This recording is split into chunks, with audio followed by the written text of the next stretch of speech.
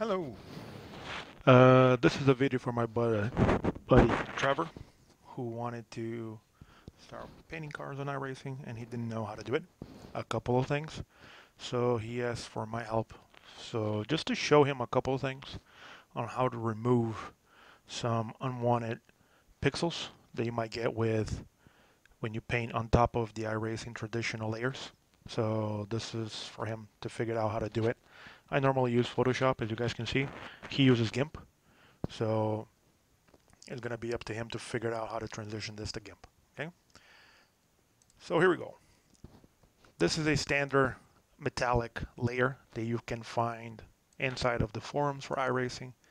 So if you go here to the right side of the screen, you'll see all of the traditional layers that you get from the iRacing templates, right? The parts, patterns, all of it that you can find pretty easy, pretty normal if you ever try to paint a car. Cool? All right. So you can see that I have a bunch of different layers here, including the metallic layers that you can open it up and you can select and you can play around with the opacity here and the fill. So depending depending on how much you apply. You can see that the color changes. If you put a, a little bit less, they change following that thing. Same thing with the flake. You can have 100, you can have whatever. You can play with all of the other ones. But what he wanted to know is whenever he's using one of these templates from iRacing, right? So the the most basic ones, the ones that have more different shapes and the whole thing. How sometimes when he paint on top of this, you'll get some pixelation. You can have some extra colors that were not painted or some pixels that were not selected. And they will look weird whenever you're trying to put the paint together, right? Because you have some extra colors that you didn't want. So just to show him how this actually work and how to do it in an easier way, or at least how I do it, and I don't get those pixelations. He want he was using this template. I'm going to use the same one that he was trying to use just as a reference point. So if I deselect everything, this is our base base paint, right? It's all blue, all easy to see, all easy to spot, right? And as I was explaining to him, every time that you think about an iRacing painting job, you can never think about creating an image on top of one basic layer.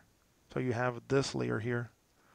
And I can never do a painting or just trying to come up with colors on top of one canvas and then just trying to manually select a very small paint and trying to go on top of it on the side and trying to come up with very corrective the whole thing because this is not going to work you, you cannot operate under those circumstances all right what you have to think about, how you have to think about, just how this thing is set up on the layered type of base, that you have multiple layers on top of each other, right? That's how you need to create your paint. This is how you need to be able to think about that whenever you're looking from above, you can have five, six, seven, eight, nine different layers on top of it, that when they are pressed together and you're looking through the top, you're going to see all of them through one shot. That's how you need to think about. And I'm gonna I'm gonna show you how how this looks on when when you think about that and how you're applying.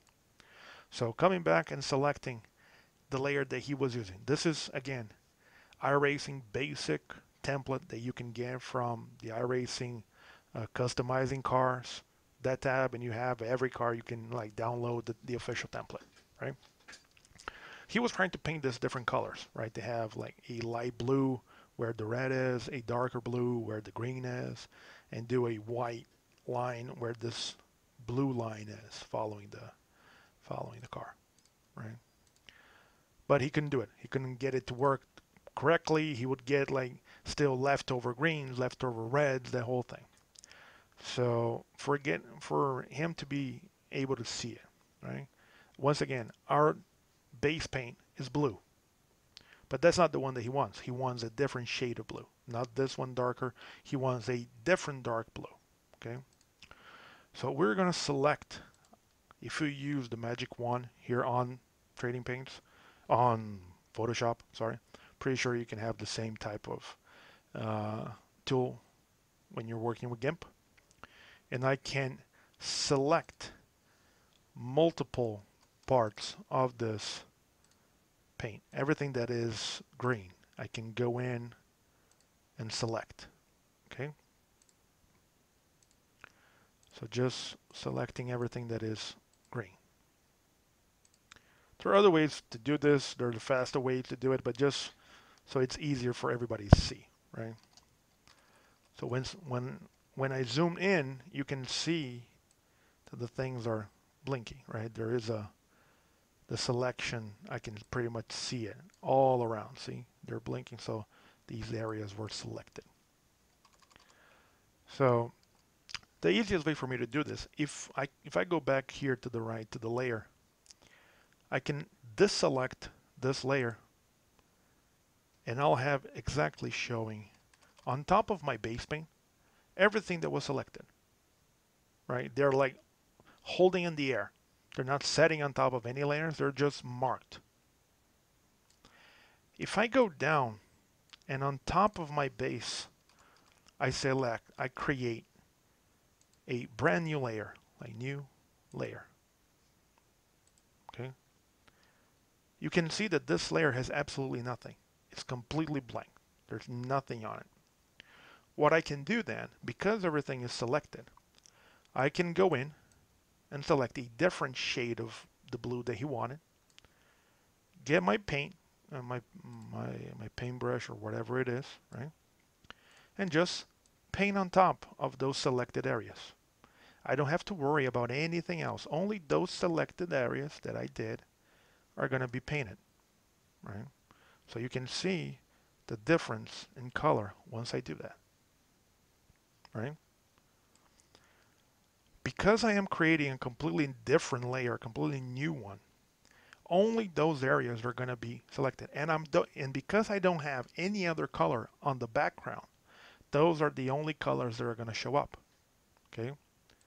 So when I deselect everything, you can see that in between the my base and the new one, for instance here, there are no other colors all that potential green, potential blue, potential red that you had on the base scheme from iRacing, they disappear. They are not brought in. You're pretty much painting a brand new thing using the selected areas that you did, right? Oh, all right, Lisa, I want to do the same thing. Cool. So you go back and I have more areas to paint. I have now everything that was red, right? So once again, I select the layer here and because the red is the main layer on this thing, when I click on whatever is red, he's going to select automatically all the red uh, on the template. And I just do the same thing. Because it was selected, deselect this one, go all the way to the bottom, create a new one. New layer. So I have one as my base, one as the blue, and I have a brand new one. He wanted a lighter blue to be on top, right? So just as an example, I'm going to get a very, very light blue. So here we go. Brand new layer, and you can just paint on top. Everything that was red that was selected, you can just paint it on top of everything. Okay? The entire template. Boom. Right? This color was hideous. All right. Oh, there we go. Much better. Light blue. Very light blue. Uh, it's kind of green, blah, blah, blah. Also kind of green. Yee, nah. Yuck. All right. Whatever. Oh, here we go. Baby blue. There you go. All right? When I deselect everything, boom. Once again, if I go in, no extra pixels. See, everything exactly the colors that were supposed to be. No add-ons, nothing. I'm missing one. I'm missing the the white stripes that he wanted where those these blue ones are. Right? You can see the you can see the blue ones. He wanted those white. So I just make sure that I go very close. Select the blue ones.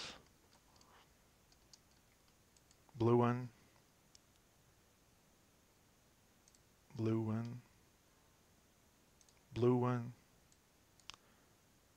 And last but not least, another blue one. Right? So those were the final ones. Same thing. Go back. Create a brand new one. And just to be easy for him to see, right? Here we go. The white lines that he wanted to make the that particular layer. And here we go. No extra pixels. Nothing. You can have, you're going to have a couple just because, but nothing that will pop as green, as blue, as white, or from, that will carry from the original template. Right? So you can do that with whatever part from the original template that you have. Right? So if I wanted now on top of those things, create another layer based on another uh, iRacing template that has nothing to do with the one that I was working, but just because I want to do something different, right? I can select other areas, go in, create a new layer, and paint it a completely different color, right?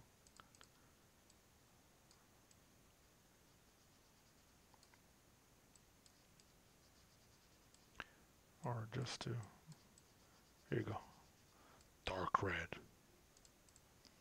And I can keep playing around until I get whatever it is that I want to show as my base paint. Okay, so for everybody that wanted to learn how to do this, pretty easy. It's just trial and error, try and error uh, until you really uh, get good on just selecting everything, applying, figuring out what you want to do. But that's normally the easiest way. Cool. Hope it helps and see you guys on the track.